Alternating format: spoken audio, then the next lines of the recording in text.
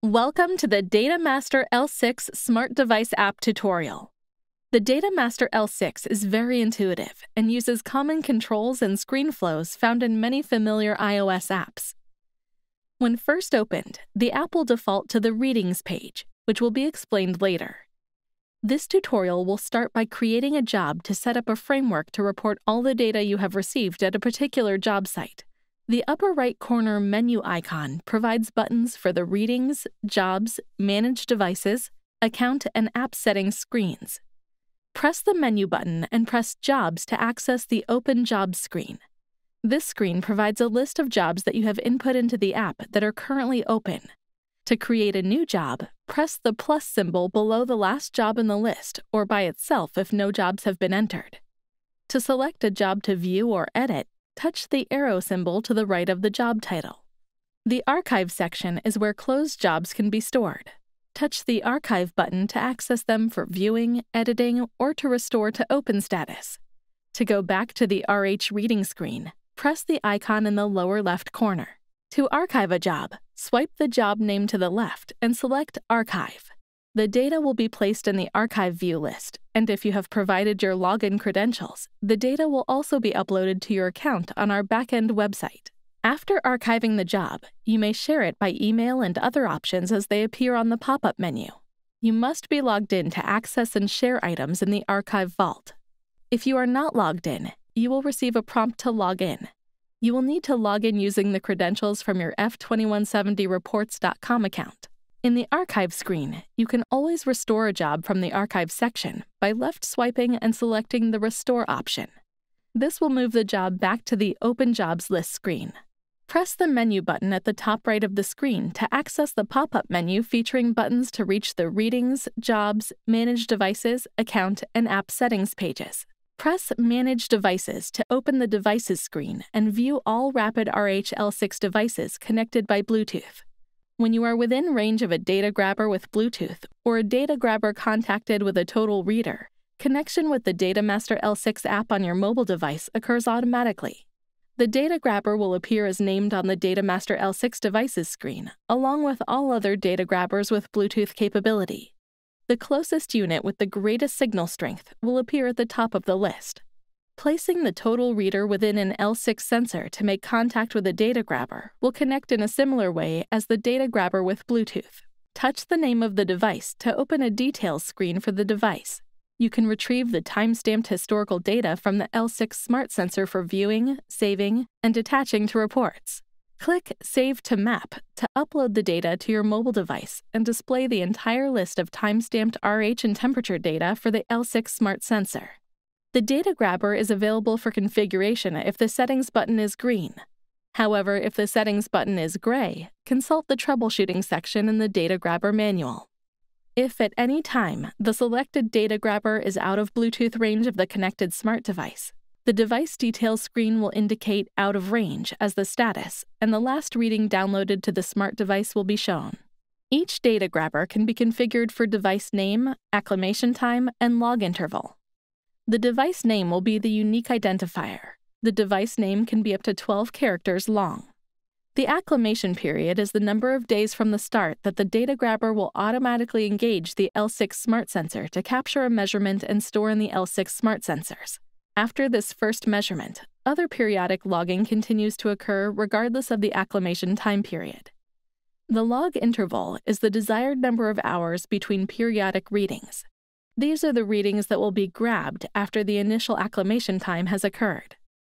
The log duration is a calculation of the total number of days that periodic time-stamped readings will be taken based on the set log interval and the L6 Smart Sensor's maximum memory storage of 512 data points.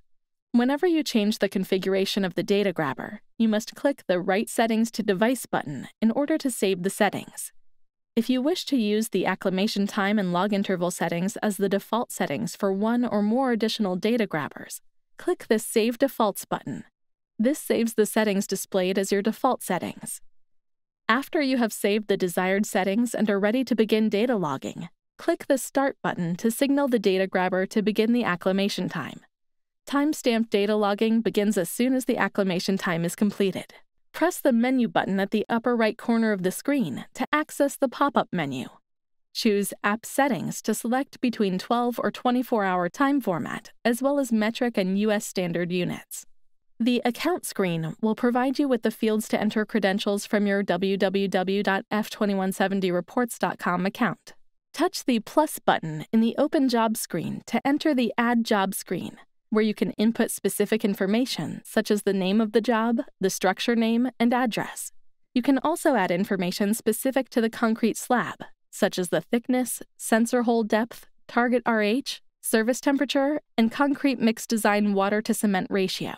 The service temperature and water to cement ratio are used to estimate RH readings that would be expected were the slab currently at service conditions. This would be the case when readings are being taken when the slab is not already equilibrated to the service temperature and relative humidity, for instance, when the building envelope is still open. Annotations can also be added and attached to each individual job by pressing the plus annotations button at the bottom of the screen. In the Annotation screen, you can add photos, audio memos, and text notes as needed to provide further documentation and details. After creating a job, you will want to add a new sensor map for each slab you will be testing on your selected job. Select the job in the Open Job screen and select the plus button to add a sensor map. Give the new sensor map a name. The default values will be filled in according to the job default values. Adjust these values according to your new job data. You can use the default stored image or take a picture with your camera to set a background image for the sensor map. Touch Change Sensor Map Background to change from the default background. Touch the check mark at the upper right corner to save the sensor map information. Here is the list of sensor maps for our job example Big Box Store 214. Currently, only one sensor map is defined for this job. You can edit the job by selecting the upper right corner menu icon edit a sensor map by right swiping and selecting the edit icon, or delete a sensor map by left swiping and selecting the delete icon. If readings are available, the average of all sensor readings will be indicated just before the small image and the number of locations indicated under the sensor map name. From this job screen, you can also create a PDF report that adheres to the ASTM F2170 standard for reporting purposes. This PDF report can then be emailed, it is recommended that you also email the report to yourself as well as your stakeholders, so you will have a record on file to reference quickly later. Press the send icon at the lower right to generate a report. Before generating the PDF report, you will be presented with a report settings screen where you can fill in specific information about the job. The information is saved for each particular job, and reports can be generated whenever needed, such as when new readings have been taken. Press Save to generate the PDF, or the upper left arrow icon to exit back to the job screen. As you enter the data, the description of the field disappears. The generated PDF report includes the report settings information on the first page, followed by data and a screenshot of the sensor maps defined for the job. This report may be emailed or printed from any wireless printer. To select a specific sensor map for the currently viewed job, Select the entry of interest to bring up that particular sensor map with details about any sensor locations that have been defined. This is an example sensor map created for this tutorial. It has four sensor locations previously defined. The sensor location name is next to each location, and if there is any data, the most recent RH measurement will be displayed next to each sensor pushpin indicator. At the bottom center, you can select to view the actual RH values or the service RH values as predicted for the service temperature defined for this sensor map, which is set when the sensor map is first created or last edited. The upper left arrow button closes the sensor map and takes you back to the list of all sensor maps for this job. The upper right menu icon takes you to the screen to edit this sensor map's details, such as target RH, service temperature, slab thickness, etc. The bottom left icon takes you to the measurement reading screen. The lower left icon takes you to the list of sensor locations for this sensor map. The icon directly above the lower right icon is used to create a new sensor location, which will be dropped on the center of the screen after being defined. The push pins can be dragged around on the screen whenever desired. Press the plus button underneath the sensor map inside your job to read the Add Sensor Map screen. Give the new map a name that will be familiar to you. The other details on thickness, depth, and target RH are preset according to the sensor map default values, but may be adjusted accordingly. Touch the Change Sensor Map button at the bottom of the screen and choose an image from the camera or stored files. The bottom center icon on Sensor Map screen brings up the View List screen that lists all the sensor locations for that sensor map. In this list, you will see the most recent RH and temperature readings for each location and how long ago the readings were taken. At the bottom of the screen is the indication of whether these are actual readings or those estimated when the building is at service temperature. The readings will be taken according to the service temperature settings specified for this sensor map. To view the estimated in service condition RH and temperature, press on the Service RH to the right of the actual RH at the bottom of the screen. When viewing the estimated service temperature RH values, you will also note that the temperature displayed is the service temperature specified in the properties for the sensor map. To edit the service temperature setting, use the Edit icon in the upper right of this screen. You can also add a new location from the View Location screen by pressing the Edit icon on the top right of the screen. To exit this screen, simply press the arrow icon in the upper left. You can edit a specific location by right swiping and selecting the Edit icon, or you can delete a location by left swiping and selecting the Delete icon. To view a specific location, press on that location's name to bring up the Sensor Location Details screen. At the Sensor Location Details screen, a list of all the readings taken and stored by the sensor will be displayed in a list format. A graph format is also available by pressing the Graph button. When you touch the Service RH button, you will see a disclaimer informing you about Service RH prediction. Touch OK after you have read the disclaimer. The sensor location details screen will provide a list of readings taken at that location with the most recent readings at the top. You can choose to view the actual RH or service conditions RH for all the readings at the center bottom of the screen. To view details about a specific measurement, touch the entry to bring up the RH Readings Report screen. The RH Reading Report screen provides information about the measurement, such as the sensor serial number used for the measurement, the date and time of the measurement, the RH and temperature, as well as the ambient RH and ambient temperature at the location. The slab thickness, hole depth, and target RH are also specified in the settings.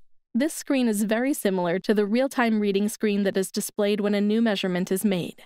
When a new measurement is made, the reading screen displays not just the RH and temperature as read by the sensor, but also ambient RH and ambient temperature reading as read by the internal sensor embedded in the total reader device. Underneath the ambient readings is the service RH as estimated using the service temperature and concrete water to cement ratio as set using the icons directly to the right of these values. A service temperature of 72 degrees Fahrenheit and a cement to water ratio of 0.5 are quite common, but other values may be set. At the top of the screen, you will see a battery level indicator which will provide information about the batteries inside the total reader. The sensor serial number and calibration assurance date are shown at the bottom of the screen. Touch the Upload All Sensor Data button at the bottom of the page to upload sensor data to your smart device. The reading is automatically stored, and a reading stored image will appear briefly when you take a reading on this page. The back arrow icon will take you to the sensor map screen. Press on the pushpin indicator on the correct location on the sensor map screen and confirm storing the reading at that location. Once a sensor location has at least one reading associated with it, the most recent reading will be displayed on the sensor map for each location that there is data. The color of the pushpin for each location will be color coded according to the target RH setting for the sensor map. If the most recent reading is below the target RH, the pushpin will be green. If the reading is above the target RH, but within 5% RH, the pushpin will be yellow. The pushpin will be red if the most recent reading is more than 5% RH above the target RH. In this example, the target RH is set to 87% RH. To view all the readings for a single location, touch the pushpin. Press and drag the pushpin to move it to a different location on the sensor map. To delete the most recent reading for a location, or to delete the entire location, just perform a long press on the pushpin and the following screen will be displayed. When prompted, Either delete the last reading, the entire location, or just cancel to go back to the sensor map screen. This concludes the DataMaster app tutorial. This tutorial will play again every time you open the app, unless you check the Don't Show Again box. Thank you for watching. Visit www.wagnermeters/support to send us any questions or comments.